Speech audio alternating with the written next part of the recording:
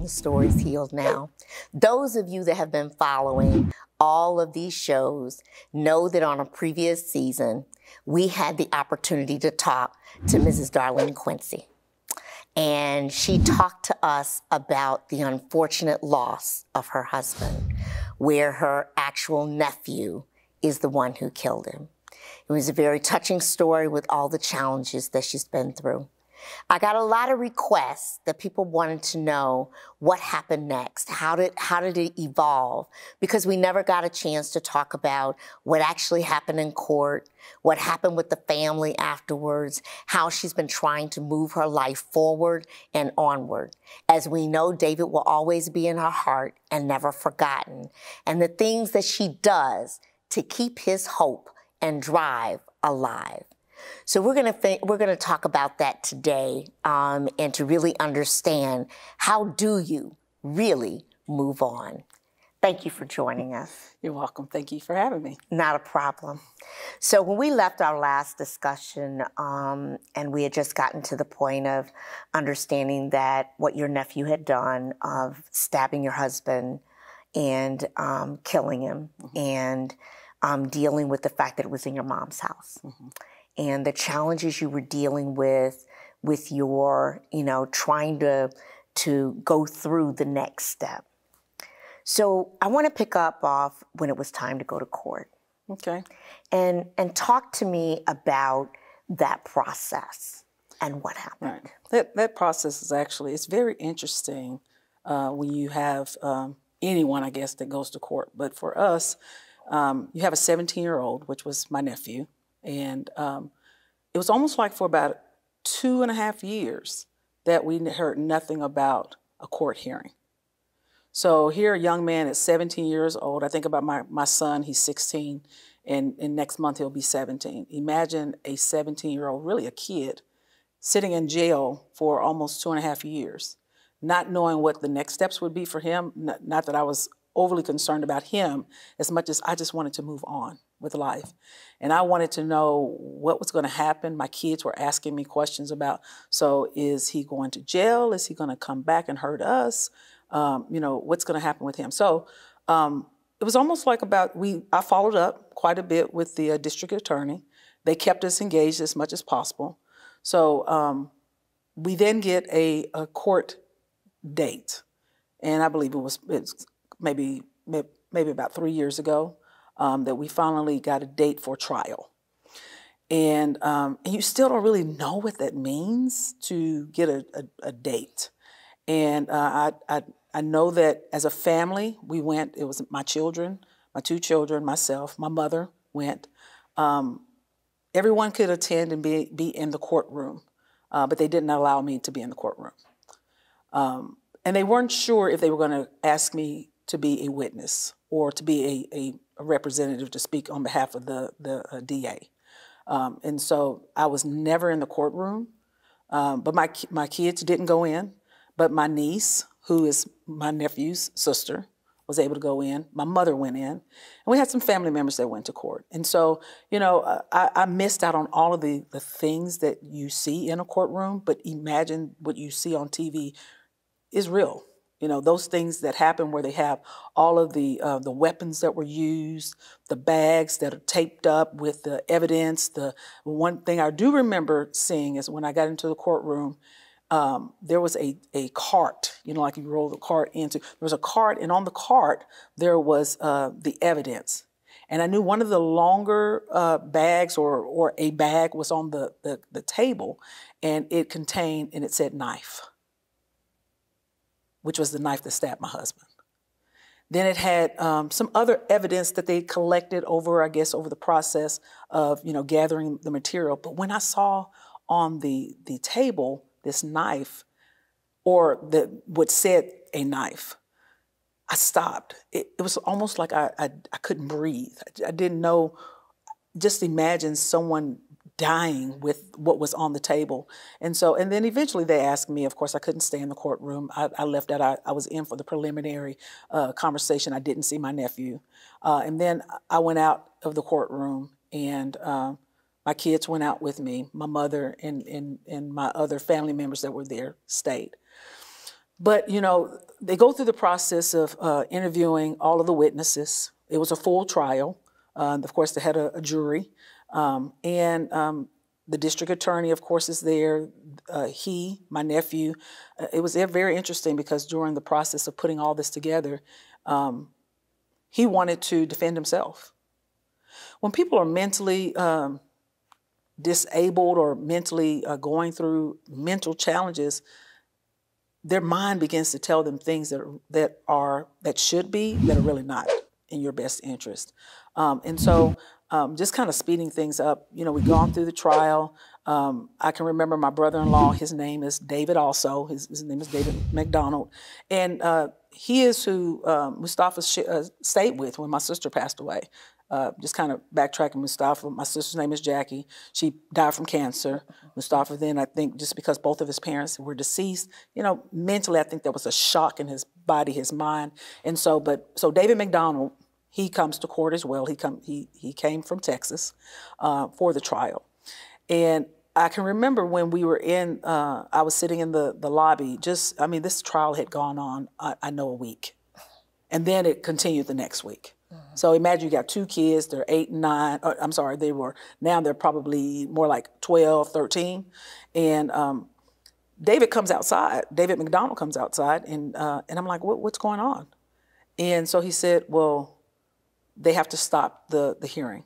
And I said, why are they stopping the hearing? He said, because uh, it was just announced by the psychologist during his evaluation of Mustafa that he had, in, his plans were to have killed me too we were like, and David, he was in shock because he had, uh, Mustafa had lived with him. But I can remember the times that he had talked about how he was fearful of a 16, 15, 16 year old boy at the time that he would lock his door at night. But when he said that, that hurt him because he loved Dave, I mean, loved Mustafa. He was the only parent remaining. Uh, and so they had to kind of stop the hearing, but they because they thought they were going to have have to call a mistrial, and, and they didn't. They proceeded forward, but um, so the trial goes forward, and and um, Mustafa ended up getting uh, 30 years. 30 years with, uh, I believe, with an opportunity for um, parole in 30 years, but he has to serve a, a, a minimum of whatever the number was. Um, and so he does uh, get that as a, as a uh, ruling, manslaughter. And um, one of the things I, I, can recall him, him uh, or was mentioned is that, you know, when people are trying to figure out why they did what they did, they, they give all these different excuses. One of the things that I remember hearing uh, from the district attorney was that they said that David potentially may, he, he suggested that David had molested him. But they're looking for ways to figure out why they did what they did. So that's a normal statement that most people that get accused or of killing, that somebody did something to them. And um, so all in all, the, the trial is, is almost over. Um, they invite me uh, to come inside, as well as the kids. But one thing stood out to me, and it stood out to me the other day, because now my daughter is asking questions. Now, in her, she's now 15 and uh, just going through the process of um, the evidence that they heard, where you hear um, they had to play the 911 tape. Mm-hmm. The 911 tape was played in the courtroom, and my uh, my kids' godparents had to hear that. And so one of the things that they mentioned is that during the 911, that they could hear my mom screaming.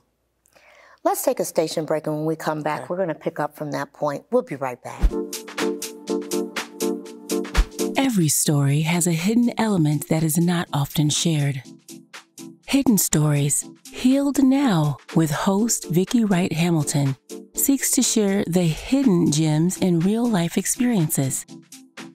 Our guests are ordinary people sharing their stories of overcoming insurmountable odds while providing hope and inspiration. Welcome back.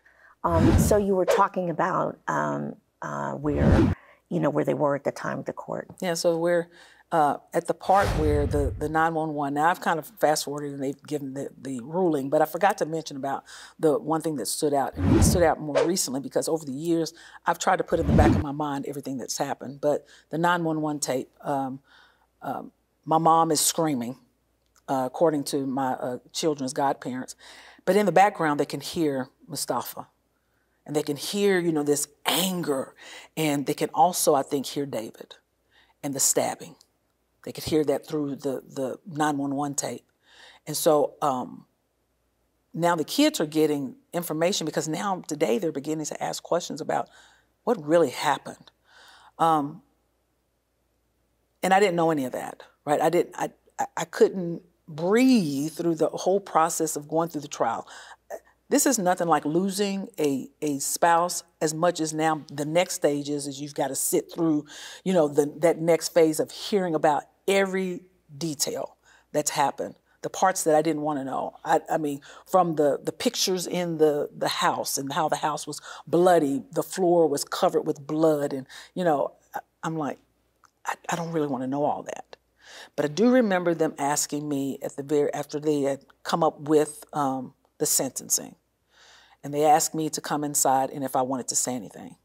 And I didn't know if I wanted to say anything or not because I really couldn't even look at him. I couldn't fathom how a person that you've cared for, that you know you've got two cousins that are six and seven at the time, you could look at them and, and, and not feel some type of, there were no emotions from him. So I go up to the podium and, and I just said, you know, my sister didn't raise this person. Now, I understand when people lose parents, but there have been many people over the years that have lost both parents, but never killed in anger. And so I just I stood at the podium and I just said, you know, my sister who had her PhD, her husband had his PhD, and they expected more from Mustafa. And he is not a statistic. He is not. Um, when you start thinking about every young black male being in, in jail, that's not who he was supposed to be. He was intelligent. And, and I turned and I looked at him and I said, you know, you should look at Austin and Paige because you've changed their life forever. Yes, I'm, I'm hurting, but my kids will hurt the rest of their life because they'll never forget driving to their grandmother's house and seeing the ambulance and seeing the tape around the, the property and not ever seeing their daddy again. Never. And that is something that you'll have to recall mentally in your mind how you've changed our life and how you've changed your life forever. So after all of this, um, and I know that that it's hard. The children are growing up, mm-hmm. and now this is over. It's behind you, and you're trying to pick up to keep going. And um, I know that you kept them in a lot of programs. Mm-hmm. You kept them engaged, etc. So you said that they're starting to ask questions now, and how are how are you able to respond without bringing up so many emotions? Or do you? Because of the things you went through at that time. I think it's really important for me to tell them as much as i truly know. Um, because i was not in the courtroom um, more more of the questions my daughter paige she's asking all of the questions. Girls are a lot different than boys. My son has not asked one question about the incident.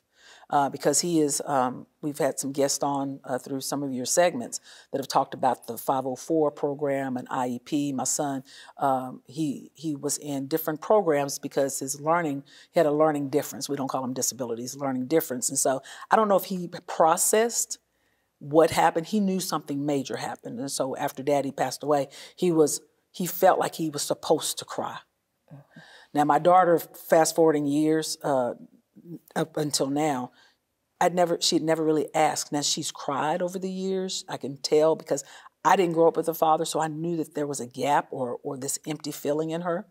Uh, and so, but recently she started asking some very detailed questions, and it was very much about the trial, and it was about that 911 call, and what her uh, godparents shared with her. But as she's asking these questions, I'm always very honest, and, and, and I will tell her as much as I know. But what I also don't want to do is tell her so much that she's goes into a depressed state or that she feels like that she's scared you know of every human being or she's scared of other family members or she's thinking that you know if i had done something different uh, or if granny had done something different she has asked me um, can she spend some time with her grandmother and asking her questions? And I said, you know, let me ask Granny if that's okay. And so last weekend, I saw my mother and I told her that Paige wanted to ask some questions. And she paused for a second because I know uh, my mother had to watch him stab. Watch your grandson stab, stab your son in law, who she admired so much. And to have to go back through men- that mental process as an, as an elder, uh, a senior, she was, I guess she was probably about 80 when that happened, right? And so I can't imagine what she went through. So now she's got to recall that information. And um, she said she was willing to talk to Paige, but she said uh, on a one on one, she would do that. And, and I'm okay with that because I really don't want to know. Sometimes it's good not to have to go back and recall all of that uh, hurt and pain because as she was even my daughter as she was telling me the story about what she'd heard from her godparent who was in the room at the court that day i didn't want to hear it. I was just like it was so it, it made me recall too much that i would rather remember david with a smile on his face and see his uh, who he is through my kids. When i look at them i see him. And so but i don't want to recall the times that he had to suffer with over 70 stab wounds to his body i can't imagine that and and my and Paige did say they didn't show his full body during the courtroom, according to what she heard. That they only showed his face. But even with that, I don't want to even imagine what that looks like for her. But she will know as much as we're able to tell her, but I don't think she needs to know it all. Do you think your mother will have discernment not to tell her all to really understand that? Because I'm sure your mother has some emotions she's yeah. dealing with that are very, very difficult. Right. I, I think what I'm going to have to do uh, for my mother, as uh, I've been her care provider over the years, and uh, and I know her memory is sharp, but it, it's also you know it's, it's, had some challenges along the way. Uh, my role for my daughter will be to tell my mother, I give you permission to say certain things, and other things I'd ask that you just eliminate those things. Those are not important for a 15 year old. Some things she's just not going to know. She's, she'll never fill in those gaps. And for me, I think that that's okay for to to make sure that my daughter is safe mentally. Mm-hmm. You know, because we don't want to. You're right. That that mental challenge mm-hmm. of being able to move forward, and you know, your son may be holding some things right. in, right? That, and as he's learning too, because I'm mm-hmm. sure they talk to each mm-hmm. other, you know, in terms of moving forward. Well, we're going to take a station break, and when we come back, mm-hmm. we're going to talk about how you moved on. We'll be right back. Every story has a hidden element that is not often shared. Hidden Stories, Healed Now, with host Vicki Wright Hamilton, seeks to share the hidden gems in real life experiences. Our guests are ordinary people sharing their stories of overcoming insurmountable odds while providing hope and inspiration. Welcome back. So, you know, Darlene, um, as we've been talking, and I, I that story just I'll never forget the moment when I found out and the chills that went through my body. And I have always admired you, your strength, your ability to move forward, to deal with your children, your mother, and and your faith. Mm-hmm. And I know that you know you you do a lot through singing, mm-hmm. and you have a gorgeous voice. Um, and I know that you know you've had to find some some ground to be able to be you. Mm-hmm. So how did you move on? What did you do? Um, I just make it look easy, and it's not easy. It isn't. You know, it's you know as strong, independent women. Yet you know we've been married. Yet you have your own income. Yet you are uh, a manager or a leader. Um, all we know is, you know, from what we've learned from our parents. And, and my mom, she was just always a strong person. So even through the hard times or the tough times or not having enough money or not having enough, enough you know, to, to feed the family or uh, very little, she survived. And I can just remember watching my mom over the years. Uh, this never happened to her, but I've watched her lose a spouse. I've, I've seen her um, not cry or cry, but, you know, we had to move on. And so that didn't mean I for, forgot, right? My journey was that I initially, you know, decided, You know, I was on the floor crying, lay, laying prostrate on the floor, uh, prostrate rather on the floor, and and I didn't know what to do at those moments and times where everybody's looking at you. My mom is relying on me. She's taking the blame. She's wondering if her daughter's going to hate her. You got kids, two kids that are, you know, seven and eight, six or seven rather, and you're not sure what to do. But I knew that on the ground there was nothing for me. So had I stayed on the ground, my life, I, mean, I didn't have a moment to really be depressed. Let me say that, because depression tried to really creep in. And I think for about I'm going to say about five or six months, I was walking or, or I was just on autopilot. I, I, didn't know what was happening in my life. I was going to work, I was managing a team, and, and I thought that I would have grace at work, and I really don't feel like I even got the grace that I needed. I was I was I, I was made to feel like I need to come back in and hit the ground running, and um, and then, you know, just this knower, this knowing on the inside of you that just said, you know what, you don't have to be a superwoman all the time. You, it's okay to cry. It's okay to say, you know, um, I'm going to take a, one one step at a time. One of the big things that I did for myself um, was I was managing a team at my job, and I decided one day I walked in and I said, I can't do it anymore. So I just called my boss and I said, I'm not going to be able to do this anymore, not knowing whether I would have a job or not. But he was able to, you know, and this happened about probably more like four or five years later. Or no, no, no, maybe a couple of years later. But I, I, I just knew I had to do that. And and and in the business that we're in, and IT, I'm an IT professional. You just don't walk in and say, "I'm not going to do this." You better have another job to go to. But I was, I felt like I was led to to say what I said, and knowing that I was going to have grace to be able to move forward. And um, and so, the things that helped me was that I, because I do walk by faith that that didn't still mean that I forgot. So I was able to minister my hurt and my pain through praise and worship. And I could cry and I could be vulnerable and I could, you know, still be Darlene, even though people saw me as being a strong individual. And, and I am that, but I don't know anything different. Right. And so, but I could still cry and worship and, and still be transparent. Because what happens is when people lose someone, everyone is kind of tiptoeing over the subject. They're tiptoeing over what does life look like, or you know, you know, Darlene, she's strong. She, you know, she she's you know resilient, but you don't know that that's what I am. So, like one of the other guests said on one of your segments, it's okay to touch my hand. It's okay to say, "Do you need a hug?" It's okay to just to know that I'm a human being.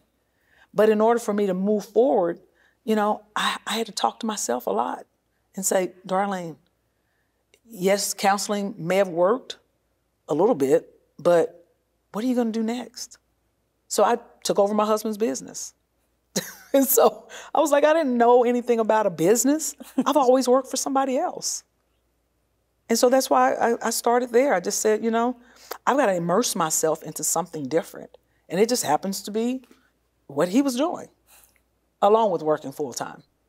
so, like I said, you got strength. Yeah, so you're a superwoman whether yeah, you realize yeah, it or not. Right, right. So then, what has happened on your personal relationship side? So over uh, over a few years, you know, I started dating. I was swiping left, swiping right. I had done all of the crazy dating stuff, and really, you know, you feel like you almost need to have somebody to replace what you had before.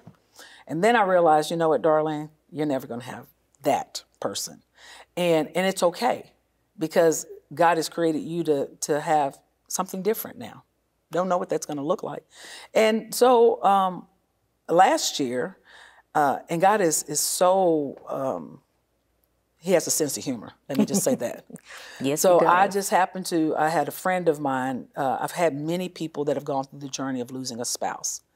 And one thing I can say, and I'll say it to the audience, that when someone, when you know somebody that's lost a spouse, please don't ever say, I understand, because you don't know what that feels like. You may have lost a sister, you may have lost a brother, or you may have lost a, another relative, but it's nothing like losing a spouse.